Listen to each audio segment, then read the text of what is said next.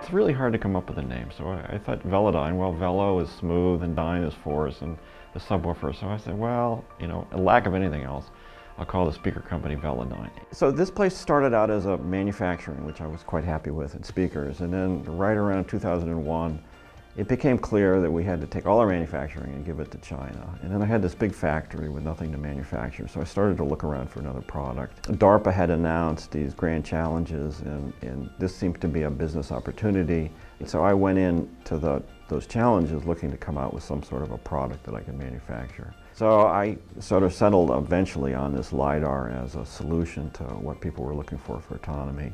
So the cool thing about the LiDAR is that it is going to affect the future of the world transportation. There are two kind of distinct markets that we're selling into.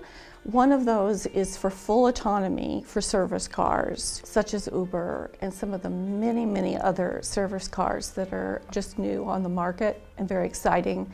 The other area is autonomy for individual cars, that people go and want to drive their own individual cars but they won't be driverless. They will be assisted with what's called ADAS, Automatic Driver Assistance Systems. And those systems are getting more and more sophisticated.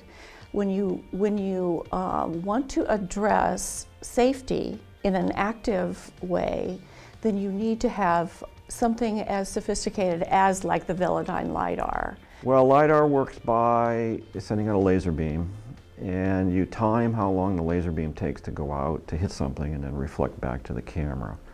And by measuring the time, you can therefore interpret the distance.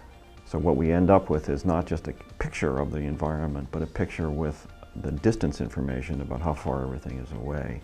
And that turns out to be quite valuable for what a car needs to do. So by telling the computer exactly how far away everything is, a computer has a much easier time understanding the world as an envir the environment.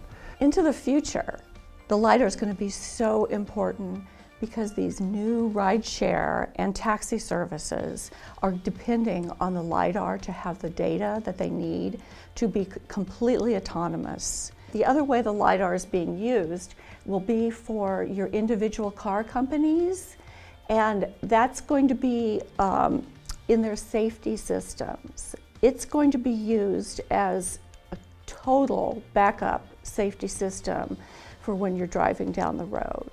So we, we targeted the, the 32 for low speed autonomy and it was never actually used for that. It was used for people to make maps from.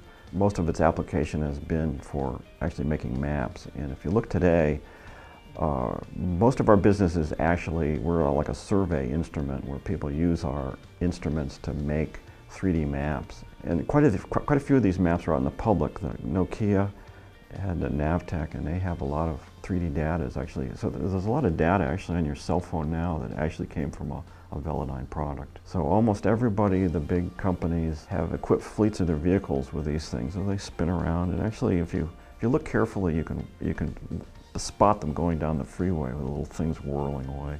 As we get more sophisticated in, in our ability to understand how to make these things, we also understand how to make them smaller and more compact. And so that this is the direction we're continuing to go into is try to try to get these things so they're more elegant in design and therefore more compact and get more more functionality out of a smaller size. This LiDAR has at the minimum 16 laser beams and we're working on uh, a 128 laser beam puck which is called the puck lidar. Uh, so in, anywhere between 16 32 64 and 128 the lidar that are out there making safety systems as of now are anywhere between one and eight laser beams and so as you can imagine, it just they don't produce as rich of a picture for image recognition and collision avoidance. Our plan is to develop an automotive ready sensor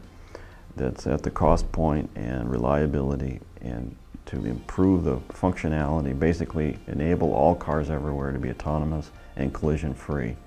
And that's the future. That's the future of our individual cars, and it's a future where you, we will save more than 30,000 lives a year, is what we're estimating, with active safety. Well, these are my products. I invent them. Uh, I look at how I, my process and I, my inventions are there to solve a marketing issue. So, you know, they're, they're there for the other people to enjoy. So I try to find out what people need in a product and then I design something along those lines. You know, I try to make the best thing I can and I, it's not the first time I, you know, I, I, I have a lot of different things and I discard a lot of ideas before I come down to what we really sell.